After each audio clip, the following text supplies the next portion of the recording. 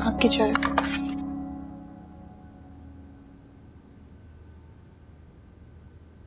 क्या हुआ? कुछ नहीं बस ऐसे ही। अरसलान आपने बात की थी मम्मी और बाबा से अलग घर की। मेरी हिम्मत नहीं हो रही सामिया। और वैसे भी अब तो मम्मी का रवैया बेहतर है ना तुम्हारे साथ? लेकिन मैं अलग रहना चाहती हूँ। जहाँ पे सिर्फ़ मैं आप और कोई भी नहीं। मम्मी नहीं मानेंगी सामिया। और वैसे भी अब तो लुबना है ना इस घर में। ऊपर से इतना बड़ा घर है। यानी आप मुझे इनकार कर रहे नहीं सामिया। मैं बस कुछ टाइम और यहाँ गुजारना चाहता हूँ। फुरकान और लुबना जैसे ही हनीमून से वापस आएँगे मैं खुद मम्मी और पापा से बात करूँगा इस बारे में। यानी कि आप मुझे टाल रहे हैं? बिल्कुल भी नहीं सामिया अब तो मैं पहले से भी ज़्यादा सीरियस हो गया हूँ तुम्हें लेके। क्या मतलब इस बात का? मतलब ये कि अब पहले से भी ज़्यादा प्यार करना चाहता हूँ तुम्हें। बहुत ज़्यादा।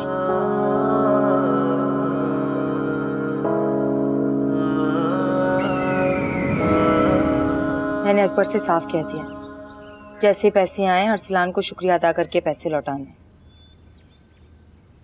एक भाई को बुरा नहीं लगेगा तो क्या हुआ? दूसरे को तो लग सकता है ना। ज़ाहिर है, तुम दोनों बहनें अब एक ही घर में हो।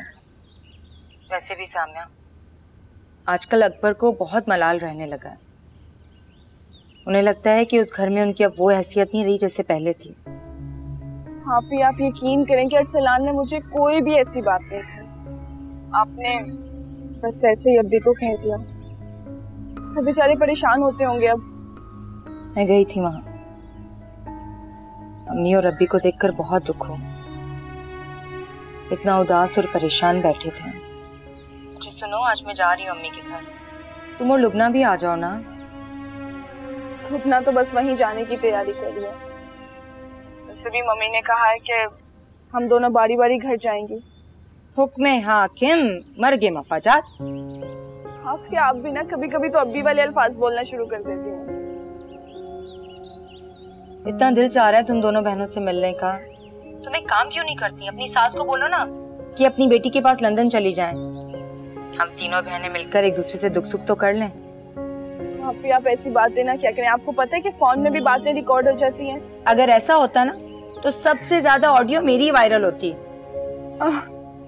भी आप भी ना कभी कभी हद कर देती हैं बातों में।